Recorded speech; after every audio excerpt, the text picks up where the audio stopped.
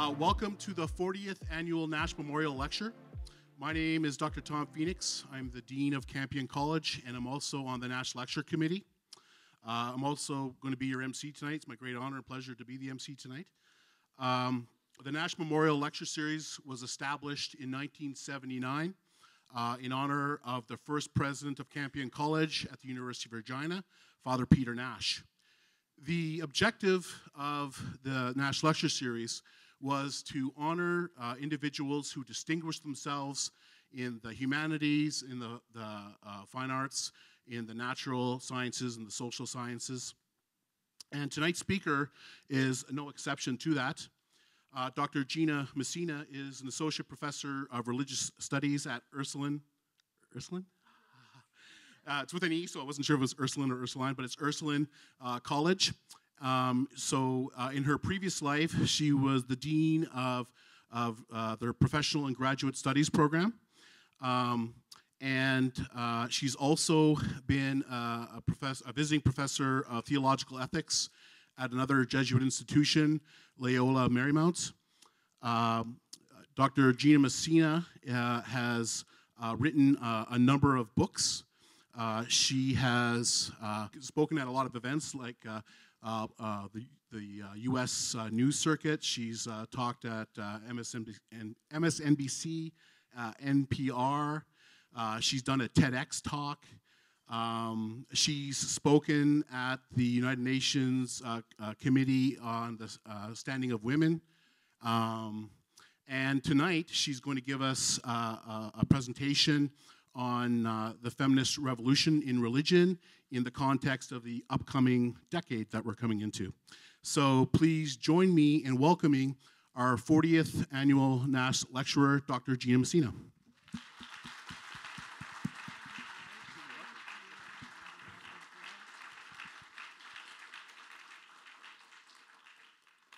Hello, everybody. I just want to say I am overwhelmed by how many of you are here. And I heard they have an overflow room, and I thought it was just talk.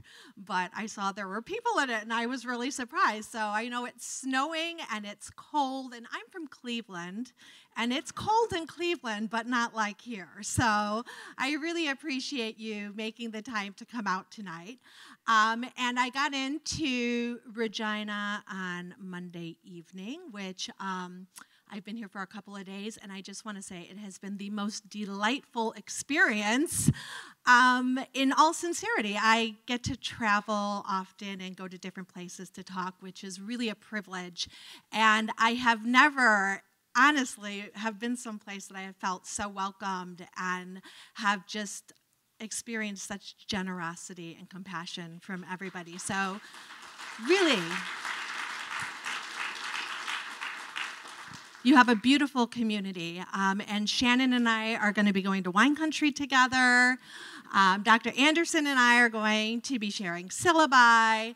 Um, and Earl, who I met in Father Jeff's class yesterday, he and I had a chat beforehand, and I told him that he is not allowed to give me any difficult questions at the end of this presentation. So we'll see how that goes. So, thank you again for having me. Um, this um, topic, the new feminist revolution in religion, is one near and dear to my heart. And um, people often say to me, You can't be Catholic and feminist. That's really an oxymoron. And I'm here to tell you it's really not. I think that they go together very, very well. And um, I wanted to start off talking a little bit about the Catholic Church and um, why the church is important to me. So, uh, we have this amazing rock star pope, right? I mean, what other pope made it onto Rolling Stone magazine cover? Seriously. Um, he gets bigger crowds than Lady Gaga. So, I think we can all take a lesson from him. And there's a reason for that. In my lifetime, there's been four popes. I really only remember three. I'm a cradle Catholic, a first generation American, and I come from a very traditional um, Catholic Sicilian family. So, um, being Catholic is in my blood. It's just part of who I am, it's my culture, and it's important to me. And I remember the day that Pope Francis uh, became Pope and watching him walk out onto the balcony and bow before the crowd and asking the crowd to pray for him. And I was overwhelmed by that. And um, I cried a little bit. I was really amazed by this man who had a very different approach to leadership in the church. And so it was later that evening that um, I very surprisingly got an email uh, from Pope Francis.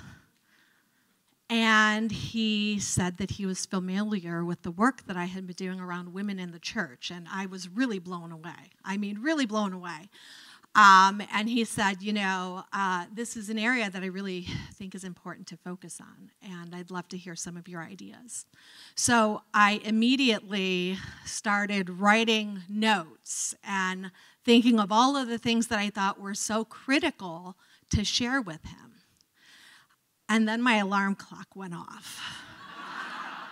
And that's a true story. I really had that dream the night that Pope Francis became Pope. I really, in my mind, thought that he was going to call on me to help with these matters in the church. Now, I keep hoping, and he, you know, has been a little busy, so he hasn't quite gotten to email me yet. But I still think there could be a possibility. Um, but I have um, been just really overwhelmed by this Pope. And um, I've been asked, what is the most progressive thing that you have seen happen in the church in your lifetime. And so let me say, in my lifetime, I was not alive during Vatican II. Um, because people always say, no, no, Vatican II. And I say, well, I, I wasn't here for that. But I, I know about it. Um, but during my lifetime, I would definitely have to say it would be seeing Pope Francis become Pope and seeing his reaction to the people. And that is something that has really touched my heart. So as I have grown into an adult, um, like so many of us, we end up having questions about the church. We have questions about our beliefs. And like the students that I work with and that you work with, um, we see our students going through so many changes and growing and evolving and learning to think critically. Um, and we really don't know what to do with those questions sometimes. And it's scary to ask questions about our faith and our tradition and finding a place where we feel comfortable. Um, and there have always been things that I have questions about, and certainly they develop out of my own history and my own growth experience. Um, but these are some key things for me that keep me really grounded in the Catholic tradition. And so I often talk about the foundational teachings of Jesus. And for me, that is something that I think we should all really be paying attention to. And when I look at the Gospels, um, when I refer back to Scripture, I always come back to these four points love, inclusion, liberation, and social justice.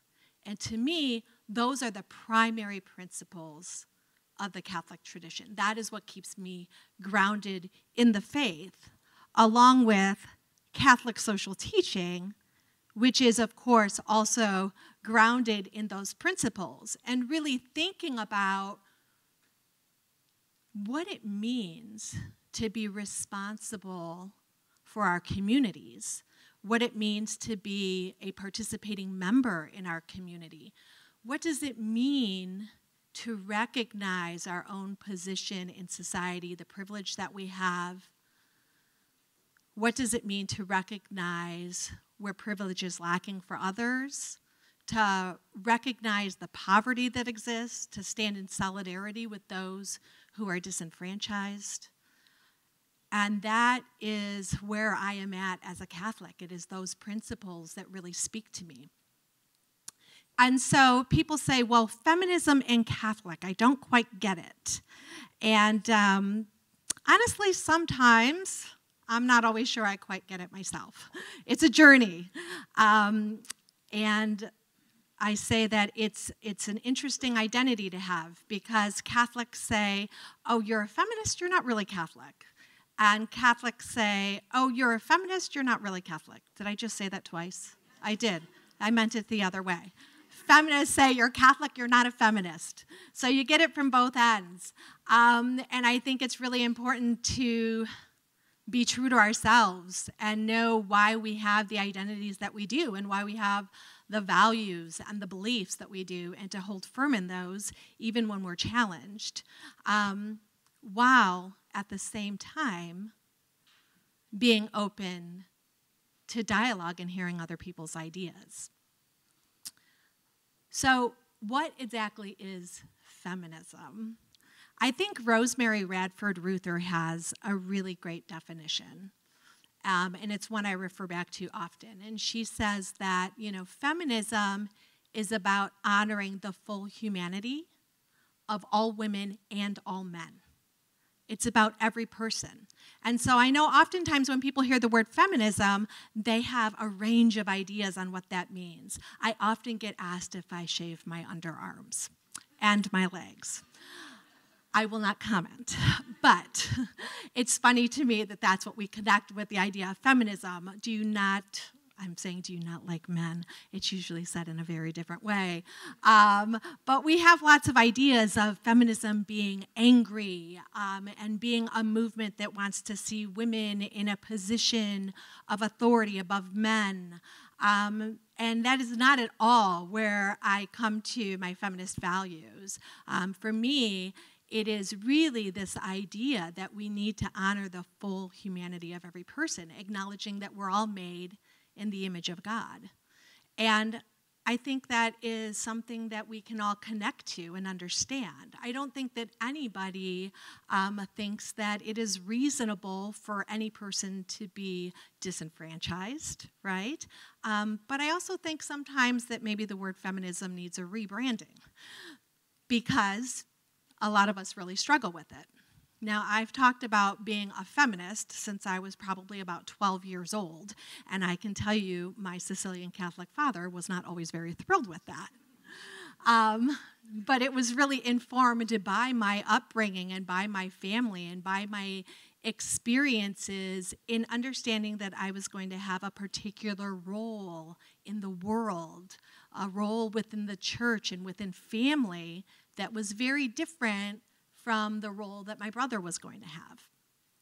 And when I got old enough to really question that, it didn't sit well with me. And I had to really struggle with that and try to figure out what is my path and what do I want for myself and why are some things seen as acceptable and why are some things not. And so feminism for me started to grow at that point in looking at those questions. Um, and I think that Ruether has a very important definition, but I also think that Bell Hooks um, helps us to really kind of hone in and recognize the idea of feminism on a broader spectrum um, that really connects to some critical issues that we don't always discuss when it comes to feminism. And so she talks about the idea that feminism is a movement to end sexism, but also needs to acknowledge the ways that varying identities overlap to create particular experiences for persons. So that the experience of sexism for a white woman is not the same as the experience of sexism for a woman of color. And that is really critical to understand when we're talking about the movement. So um, I wanted to give us a little bit of a background on this. And so I think that it's really important to understand that feminism is a liberative movement. Like all liberative movements, they develop with the idea that we want to eradicate some issue, some form of oppression. But oftentimes, what happens with liberative movements is they become very focused and forget that they may not be including all the voices, and they be, can become oppressive themselves, and that is a big critique of feminism. Um, and so, for me, I think that it's really important to understand that feminism, yes, is about ending sexism, but it really is about uprooting all oppressions, because you cannot uproot one oppression without uprooting them all. So, as much as feminism is focused on, on the issue of sexism, it is also very deeply committed to looking at issues related to immigration. And so we need to understand that it has a broad spectrum.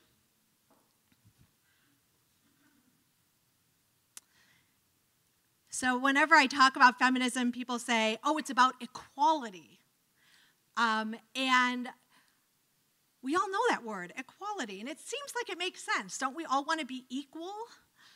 But there's a problem with the word equal because if we all get the same thing, it doesn't necessarily mean that we're going to have all what we need, right? And I, I love this image. There's another image that a lot of the students are familiar with, and they might be familiar with this one too, but we talked about a different one yesterday.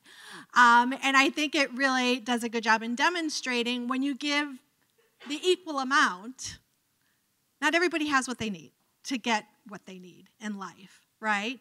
And so, what I think we really need to be talking about is equity. And what does it mean to be an equitable society? What does it mean to meet people where they are at and acknowledge what their needs are and ensure that we each have what we need to have a good life? Um, we often talk about the idea in Christianity uh, of loving our neighbor. But I find today that most of us don't know who our neighbors are. We don't know who our neighbors are. We don't know what our, our neighbors want. And we don't know what our neighbors need. We all know who the Kardashians are. They've become our neighbors in some way with this, you know, new media access that we have. Um, and when we talk about equity, it sometimes feels uncomfortable. Like, why should I get less of something and somebody else get more of something? And that's not really the idea that you're losing out in favor of somebody else, but instead of really thinking about what this idea means to love your neighbor and care about what they need, care about them having what they should have to have a good life. And finally, feminism is intersectional. So, how many of you are familiar with the term intersectionality? I'm just so impressed. I'm just so impressed. Um, I often ask that question, and people are usually like, I've never heard that term before. Um, but intersectionality is the idea that we need to recognize that it's not just a conversation about gender. And that's what we often do. We want to talk just about gender or race or economic issues. Um, we want to talk about culture or just religion or sexuality, but it's so much more than that. Each of us has our own lived experience. We have our own history, our own culture, our own background, and all of those things overlap and interweave to create a particular experience. And so, what my experience is as a Catholic Sicilian woman um, is very, very different from the experience of my colleague who is, you know, a Latina, um, a Latina feminist, uh, lesbian uh, Christian. We have totally different experiences, right? And we often don't think about that. We want to talk about ourselves in these very narrow categories, and it doesn't fully acknowledge who we are as people and why we have the ideas that we do, or what type of experience we might be having in the world, um, what kind of an oppression we might be experiencing. So, um, you know, when I talk about the idea of being a woman and feeling oppressed, um, it also oftentimes almost feels silly for me because, you know, I'm a very privileged person. I mean, I'm here in Regina talking to all of you. Clearly, I am a privileged person. Um, but I think a really good example of this is to think about pay equity. At least statistics for me in the United States. Um, we often cite the statistic that women make 77 cents on the dollar. And that is true for white women.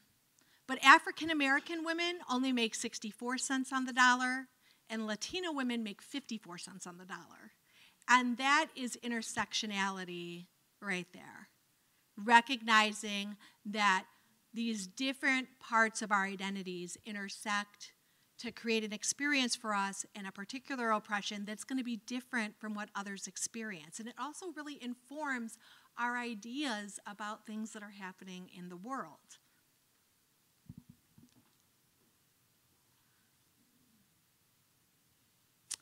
So, I have these extra photos, but I kind of already said them. I'm sorry, I got ahead of myself just a little. But I love this quote um, from Audre Lorde. Um, I've been asking, you know, um, if y'all in Canada are interested in what's happening in the United States and our Yes, yes, I know. I was. it's um, it's an important conversation, and so I'm I'm I'm grateful um, for uh, the dialogue. And um, when we had our most uh, recent presidential election, I found that when I was talking with people, that a lot of um, persons were choosing to vote for a candidate um, based on one issue, you know? Um, and a lot of us feel that way. A lot of us feel very strongly about particular things, and that one thing outweighs everything else. And so, regardless of who that candidate is, we're going to check the box because that issue is important and you feel like you're doing something about it. But here's the thing, and I love this quote because I think Audre Lorde says it so well, is that there's no such thing as a single issue struggle because we do not live single issue lives. Um, and I think it's such an important idea for us to absorb and to really consider when we're making decisions about our communities and the way that we want to engage our communities and what it might be that you want to vote for or how it might be that you want to help your neighbor. And recognizing that sometimes when we hone in on one thing, that it can create a host of issues. So, for me, feminism really addresses all of these things. And I think that it connects with teachings in the church these ideas of love, inclusion, liberation, and social justice. The idea of caring about our community, being committed to the poor, recognizing our responsibility to our neighbors. I think those fit together well. And so when I think about bringing a feminist lens to the Catholic Church or a feminist lens to religion, um, there are a couple of things that really stand out to me that I think are important to discuss. And so the first would be talking about our understanding of God. And I know that a lot of us have different language for God. Um, some of us say the divine or the sacred. Um, whatever that means to us. When we talk about God, uh, well, to many of us, this is it, right? This is the ultimate source. This is uh, the source that we are accountable to, the being that has given us life, and how we create our moral values, our beliefs, our understandings and how do we understand God? And so I like to ask people when you close your eyes and you imagine God, what do you see? Does anybody want to share? Anybody willing?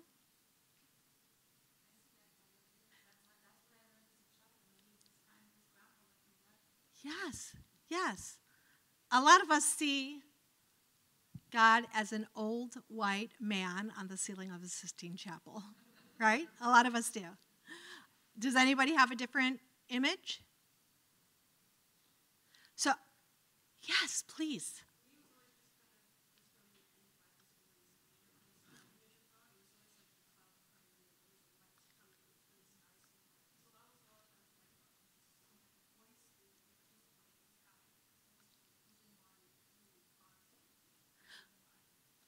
Tell me your name again.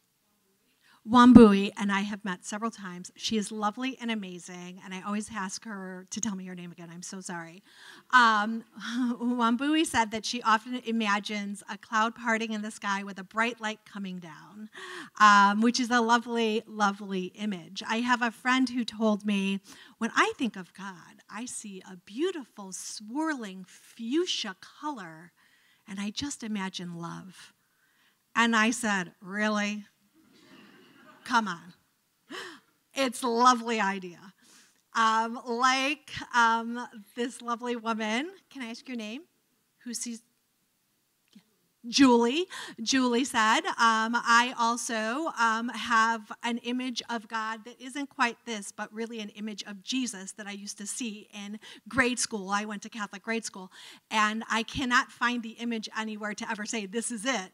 But there's this one image, and it's always in my head. And as a feminist, I'm always talking to myself about what's appropriate God language, what's appropriate God imagery. Um, and yet, this is it for me, right? Because we learn these things and they stick with us. And they also impact the way that we think about God, the way that we connect God to our societies, the way that we think about power structures in our societies. And so, if God is an old white man, then who has the power in our society? And I think that's a really important message to take away because if we think about our society, really the foundation of our structures within society are, are grounded in our religion. They really are. And so when we talk about God as being a man, um, then really, how could any woman have the same level of power? Or privilege that a man does, because certainly a woman could not represent this idea of the divine. So, our language is a problem, our imagery is a problem. And how do we address that? Um, and apparently, my friend who sees the purple fuchsia swirl has mastered it. But I have not. I have not. And it's something I'm always thinking about. And I still say God, He in class when I'm teaching, and I catch myself and I'm doing better with it, but um, it is just kind of the go to for most of us when we're talking about God and we're going to use a pronoun. We say He. Well, He, you know, is amazing, right? Um, but we say He. Um, and how can we break that habit? And are there other appropriate images and language that we can use? Well, I think that's up to each of us. And I always say that what is comfortable to you? If it is a fuchsia swirling light, awesome, right? Um, but how can we find that for ourselves? If we look at a lot of theologians, they talk about different ideas. Some like the idea of using parental language, godmother, godfather. Some people like the idea of using gender neutral language, like the divine.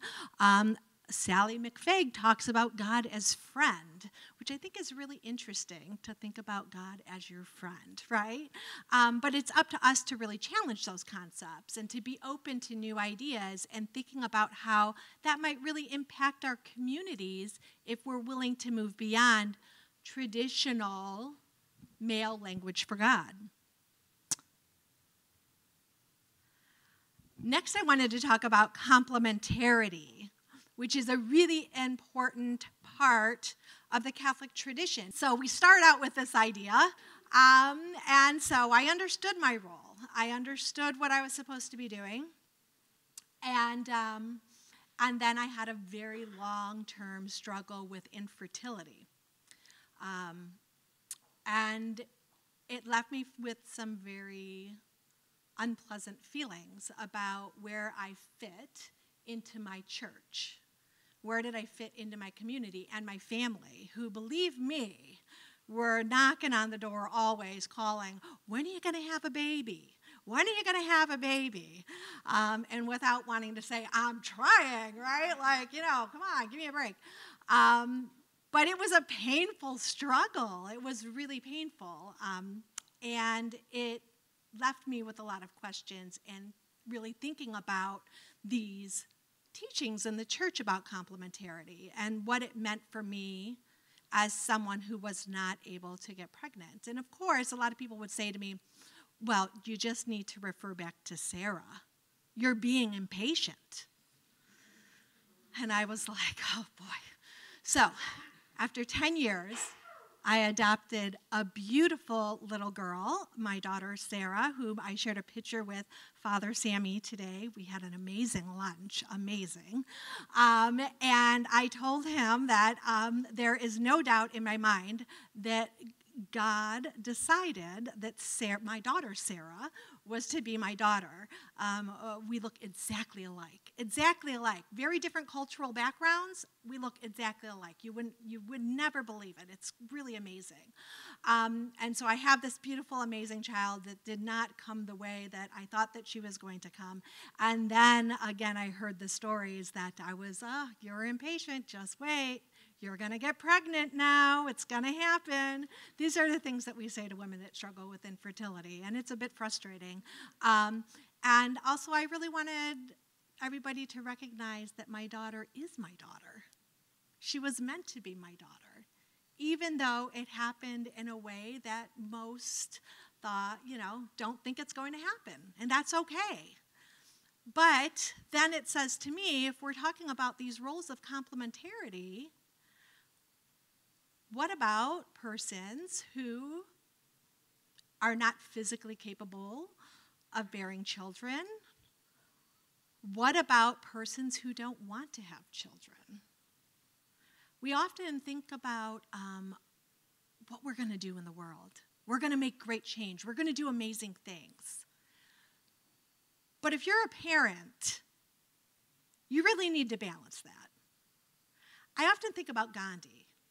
You know, Gandhi was an incredible leader in our world, but we often don't realize that Gandhi's children suffered greatly with not having their father present. Um, one of his sons um, became very ill, uh, and it created a lot of a lot of difficulty for his family. We don't talk about that. We acknowledge what an amazing person Gandhi was. And I don't say that to take away, but I say that there are some that feel that perhaps children is not their calling. And maybe they're not able to be a parent and do the great work in the world at the same time. And I know you're going to say that's the priesthood. But for those of you who may not want to be in the priesthood, and of course, there are those who feel called to different types of relationships. And what do we say about that in the context of complementarity? And this idea of natural law, does it have to be the center of where we build our foundation as a society? And I don't think that it does. Father Jeff and I had a little bit of a conversation about this yesterday, along with some of his amazing, amazing students. Such talented students at this college, I want to say. Um, and I'll talk a little bit more in a moment about what I think should be at the center. But I think complementarity is something that needs to be acknowledged. Now, I very much hope that you all laugh at this image. And I asked Mike, wherever he is, is this going to be okay? And he was like, I think it's funny. And I was like, all right. Um, um, if you can't see what it says. So it's an image of Mary Magdalene preaching the first message of the resurrection. And we often forget that it was a woman who received the message of the resurrection and preached the first message. Mary Magdalene actually is you know, a very big reason why we have the Christian church today. Had she not preached that first message, we wouldn't all be sitting here having this conversation. And um, of course, the apostles did not believe her, and hence, hashtag fake news. It just really made me laugh. I couldn't help myself.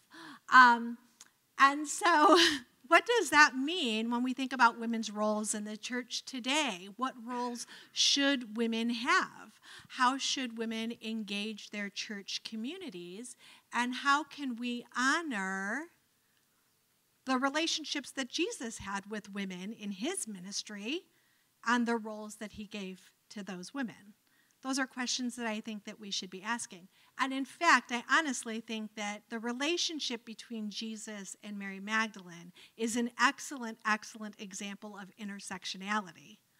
And the reason being is that Mary Magdalene, you may or may not know, was a very wealthy, privileged woman. And she helped fund Jesus' ministry. She supported Jesus' ministry. And Jesus was you know, an impoverished Jew. He was on a very different um, level in the power structure. Mary Magdalene had a significant amount of privilege that Jesus did not have. And I think it's a real example of the way that we don't always understand power structures playing out. And Mary Magdalene could have sat pretty with her money and had a really good life. Um, but really believed in this message of love, inclusion, liberation, and social justice, and went on a journey that led to her preaching that first message that brought us here today. And so I think that's something we should be considering when we think about what women's roles should be in the church. And I think it's really important also to understand how we have really done a disservice to the memory of Mary Magdalene throughout history. Early images of her were very similar to this. This is an image of Mary Magdalene where she had her head covered. She appears to be a wealthy, respected woman. And then we have the misinterpretation of who she is and refer to her as a prostitute. Which, quite frankly, if you're looking to discredit a woman, calling her a prostitute is the way to do it. And it really goes back to our ideas connected to complementarity and our sexuality and what is acceptable and what is not. And so the imagery of her shifts throughout history. And suddenly, from a respected woman with her head covered, we have a woman topless with long red locks, gazing up at the sky, pleading for forgiveness. What does that do to this woman's legacy and the role that she has played in the foundation of this church? Now, eventually we find out that in fact it was an inappropriate interpretation. But I can't tell you how many people I run into on a daily basis that still have no idea that Mary Magdalene was a woman of privilege who supported the ministry and was not a prostitute. Now, I want to be cautious also and acknowledge that when we're talking about sex work today, it's an important conversation to be had. Um, and I don't think it is one where we should be speaking poorly of women who choose to engage that field. And I'm certainly not um, wanting to discredit that, but that is a conversation for another time, clearly.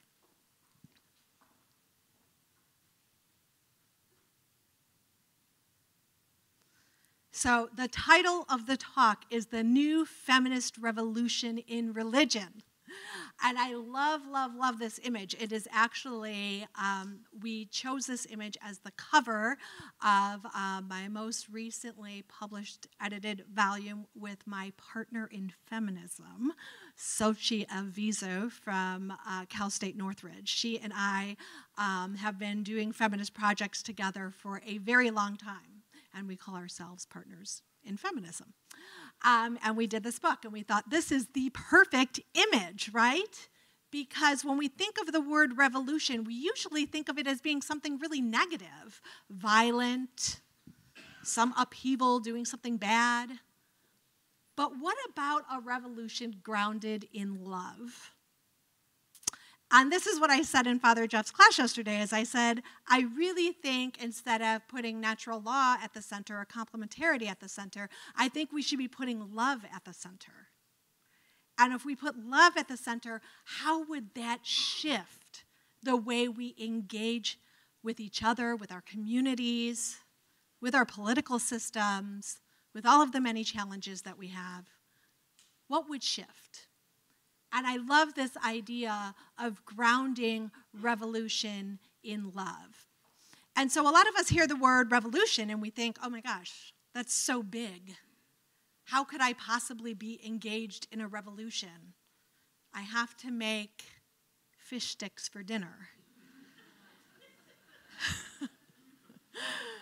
right? Um, I know that feeling. I order pizza way too often. Don't tell anybody. I know, right? Um, yes, but a lot of us have that feeling. Oh my goodness, the daily grind. You wake up and we immediately have that feeling. I didn't get enough sleep. I don't have enough time. I definitely did not have enough coffee. I never have enough coffee. Um, and we're on the go. We've got things to do. We've got people to see. We've got to go to work. We've got to get the kids on the school bus. Somebody has to do the laundry. Somebody has to make dinner. Somebody has to shovel the driveway. Somebody's shoveling tonight. I know they are. My heart goes out to them. But in the midst of all of the things that we're doing, we really are all, all of us, participating in revolution, whether we realize it or not. Because it is these smallest acts done with the greatest love that make the most critical change in our society. And I believe that with all my heart. I really, really do. And so I think it is the conversation you have with your child at the dinner table. It is when you hold the door open for someone, you know, at the restaurant. These small acts of kindness are so important, and we should acknowledge that we participate in those. How are we treating our neighbors? Who is your neighbor? Do you know who your neighbor is? I honestly don't know most of my neighbors. I know some of my neighbors, and I make an effort, and I want to know who they are, and I I love my community and um, I love coming to places like this and getting to know everybody. I, I came around and talked to some of you, um, and very luckily, I introduced myself to Scott, who is from campus security, and let me know what the secret pathway out was in case, you know, a tomato gets thrown, thrown or something. I'm really not concerned that that is going to happen. But I love to meet people and I love to talk to people um, and get to know who you are and acknowledge that, you know, this is it. This is where I find the divine. It's it's in my neighbor, it's in my community, and that's so important. And so, what are we doing on a daily basis? Those small acts count.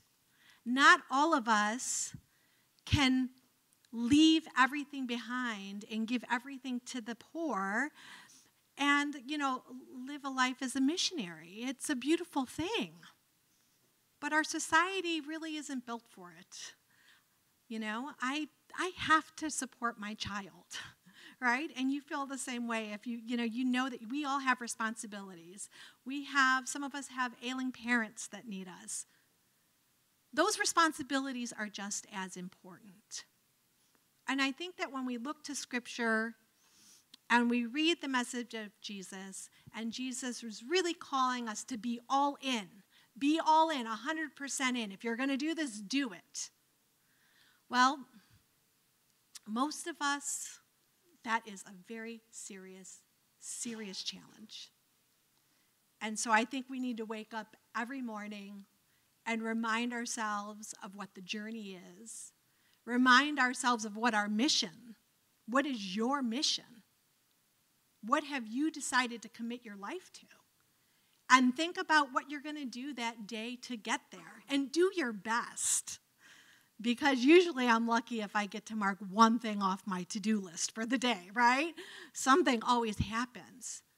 But I think it's important that we acknowledge it, that we understand it, and that we try our hardest, and that we put love at the center of those actions, that we recognize that our faith, our value systems, our morals, whatever that means for you in your life, that you recognize that as your grounding and your foundation to help you live out that mission that you know is going to help your neighbor.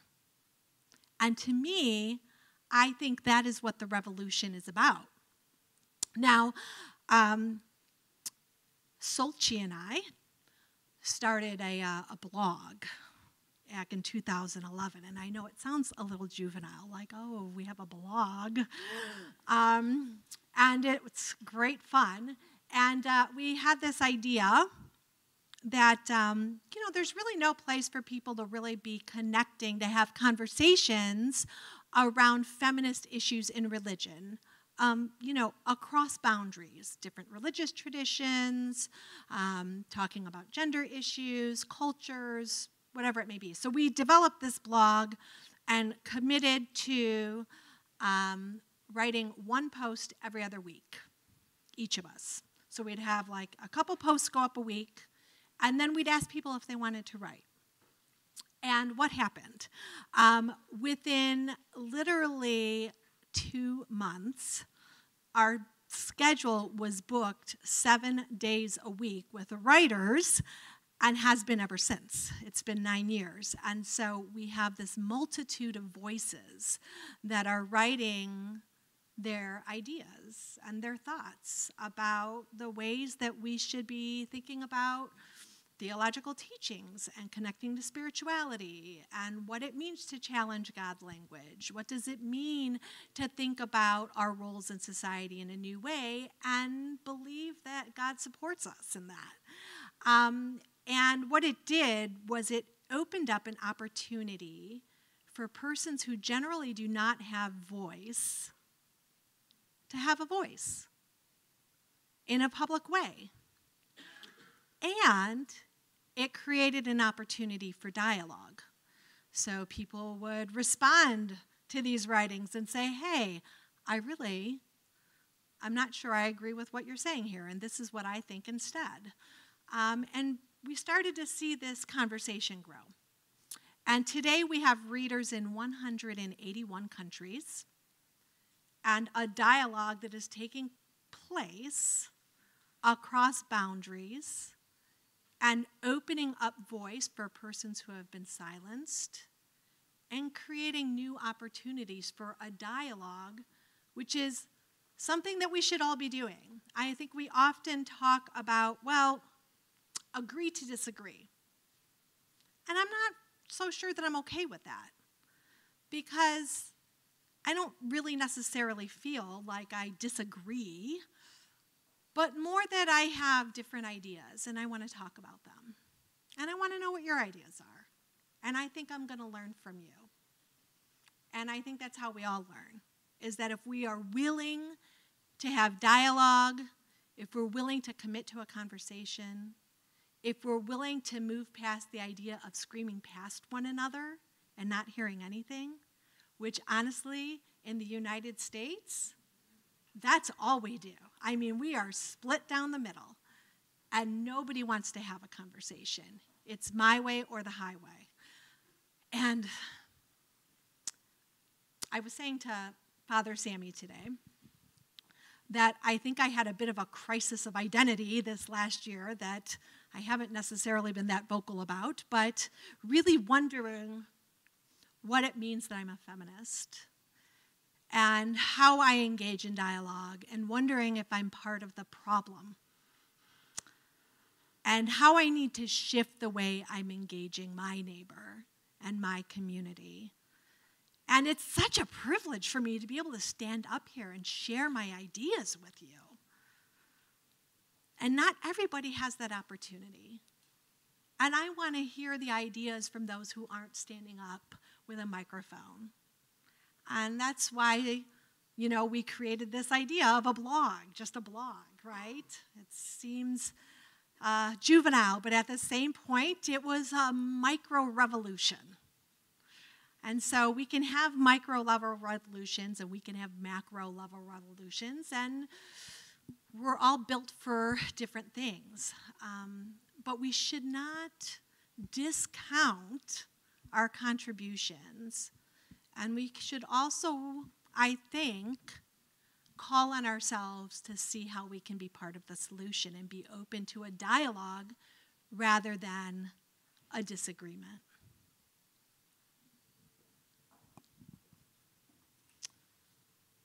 So, as I've been thinking about my own feminist identity and some of the challenges that I felt, um, I've thought a lot about Our Lady of Guadalupe. And I think that she is an amazing role model and story for us to connect to when we're thinking about intersectionality and thinking about communicating with our neighbor having a dialogue and moving past anger.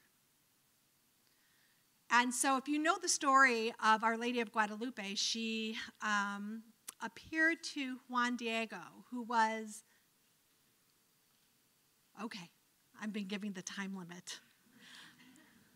My nickname is Motormouth Messina. I can talk forever, forever.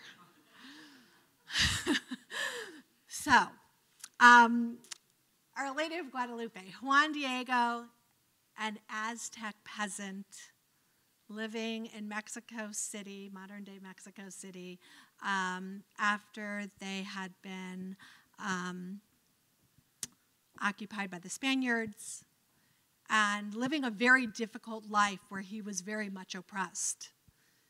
And then he had this encounter with Our Lady of Guadalupe.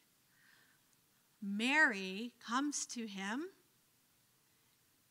in a very specific way. She has brown skin. She looks like Juan Diego. She speaks to Juan Diego in his native Aztec language. She's wearing a robe and garments that represent tradition and culture in the Aztec community. And she comes to Juan Diego as a figure in the Christian faith held by this man's oppressors and acknowledges to him his dignity, that he is fully human, that this atrocity of being oppressed is not acceptable, and that she honors and values his worth. She sees him as being made in the image of God. And she sends Juan Diego with a message to have a shrine built to her in this spot of her apparition. And um, nobody believes Juan Diego. He's the Aztec peasant. They're not going to take him seriously. And so she sends Juan Diego back with these beautiful flowers that are not possible to bloom in that area. They're not from the area. You would not find them there. And she has them has him roll them up in his cloak, these flowers to present to the bishop as proof. And when he opens his cloak, the flowers fall out, and here is a shrine of Our Lady of Guadalupe on his cloak. And we forever know Our Lady of Guadalupe, and she has become such a critical figure in that community. And I think that there's a lot that we can learn from that story in acknowledging that sometimes people make bad decisions. It doesn't mean that we're bad people. that we can look past differences among us and find our humanity and connect on that. And that we really need to honor each other for who we are. And that can be really difficult to do sometimes. I often talk about my own background and my history because I want to make the point that I come to the conversation, I come to my values and beliefs because of my lived experience, and so do each of you. And so does every single person that you feel is wrong. I always like to say, well, yeah, but, but I'm right, right? We all think we're right. And I think that if we can really consider why each of us come to a conversation with the viewpoint that we have, that we understand our lived experiences are different, and that we value each other for who we are, that it'll put us in a better position to respect one another and to be willing to listen and learn from each other instead of just assuming that we are always right. I am right most of the time, but just kidding. So, there's a few images I wanted to show to you of Our Lady of Guadalupe, just quickly. Wrong button. Um, that as Our Lady of Guadalupe has been embraced, we see that her image has been recreated through contemporary art in a way to represent our own lived experience. And so these images, I think, are so beautiful. And thinking of Our Lady of Guadalupe as representing our grandmothers who sew our clothes and honoring the work that they do as being valued, right? Seeing Our Lady of Guadalupe in our everyday lives and in the work that we do. I think that's such an important idea when we can connect ourselves and our experiences to that which we value. And that Our Lady of Guadalupe has become a critical, critical figure of protection and a way to understand the importance of dialogue and respecting each other and as a protector. And so going back to this idea of the new feminist revolution in the new decade, I'm like, we are in a new decade. I did not say Happy New Year once. I said Happy New Decade. I was ready for it. And in this new decade, I think that Our Lady of Guadalupe is a model for us to follow. And I think that love is what we put at the center of our value systems. And I think that if we can do that, we may find ourselves growing into a society that gets back to the values of knowing who our neighbor is. And I think that's a good starting place. So I will leave it there. Thank you so much.